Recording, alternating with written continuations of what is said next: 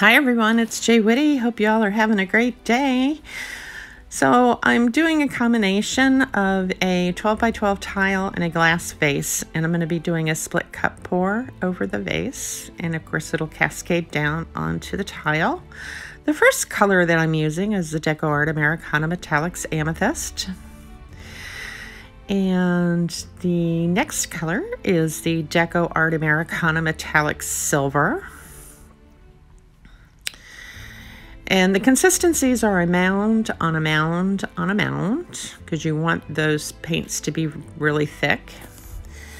My next color is a combination that I put together of the DecoArt Dazzling Metallics Teal, PrizmPour Metallics Royal Sapphire, and Liquitex Basics Bright Green, uh, Bright Aqua Green, and made this really pretty shade of teal. And then I use the DecoArt Americana Metallics Obsidian. Oh, gosh, such a mysteriously dark, gorgeous color. Very yummy. So those are the four colors that I'll be putting into my split cup. And again, like I said, my consistencies are a mound on a mound on a mound. The pouring medium that I used with these um, is 50% the Liquitex, 50% Liquitex pouring medium effects and 50% Liquitex pouring medium gloss. I mix those two mediums together. Um, and then the pouring medium is probably about two parts of the pouring medium to one part paint. And it made a perfect consistency, especially with those DecoArt Americana metallics that come out of those little tub jars. Um, perfect consistency. The only thing that I had to alter or change up a little bit was that custom teal. I still, it wasn't quite thick enough, even using the tube paint from the Liquitex Bright Aqua Green that I told you about. Couldn't get it to a mound on a mound on a mound. I could only get it like on a mound and a half, and then it would sink in, if there's such thing as a mound and a half. So I had another uh, pouring medium on hand that I know is really, really thick or thickens things up nicely, and that is the Pouring Masters Gloss Medium. I mean, that stuff is really thick, so just a little bit. So that teal color only, that was the only color that received an additional uh, pouring medium to it. No Floetrol, no water, no, no other special stuff, just those pouring mediums and the paints. So, everything I've uh, just went over is listed in the description box down below. So, you can just tap on the title, it'll take you right there. So, every once in a while, I like to do these combinations of a vase and a tile. Um, they just turn out to be very pretty pieces um, that complement each other. I clean my tile and the um, vases off um, with rubbing alcohol to remove any oils or residue or anything from my hands after handling them. And I just absolutely love how this works. I love doing it. And the reason why those cons- that consistency needs to be very, very thick. I mean, I could stand there all day and just pour over a vase like this but um, because of the gravity pulls it down. And I do several pours on top of this vase, and each time you do that, you know, your design just changes up. I mean, look at that right there. Just absolutely gorgeous, but that's not what I ended up with because I had to pour again. And the reason being is you want to make sure, because of the shape of the vase and gravity, that you're covering every outside aspect of that vase.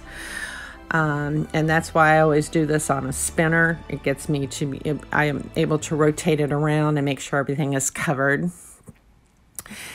And once that's finally covered and the paint begins to slow its drip down a bit, I will remove it off of the tile. Now, you're not going to see that whole process, but um, I'll remove, you know, it off the tile that's on those solo cups for a purpose because they help hold it up, which is great.